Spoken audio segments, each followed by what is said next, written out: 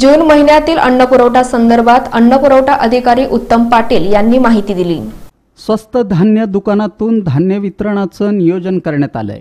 विविध कार्डधारकांसाठी तसंच ज्यांच्याकडं कार्ड नाही अशा वर्गासाठी देखील जून महिन्यात शासन निर्देशानुसार धान्य वाटपाच्या केलेल्या नियोजनानुसार वाटप करण्यात येईल अशी माहिती जिल्हा पुरवठा अधिकारी उत्तम पाटील यांनी दिली आहे.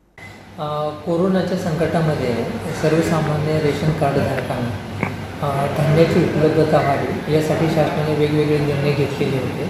त्याप्रमाणे आपण मे महिन्यामध्ये अंत्योदय योजनेअंतर्गत एकोणीसशे एक हजार नऊशे ऐंशी मेट्रिक टन एवढं वाटप केलेलं आहे.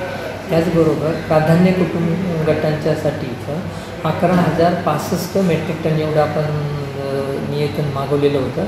आणि त्याप्रमाणे दहा हजार दोनशे तेवीस मेट्रिक टन आपण वाटप केलेलं आहे.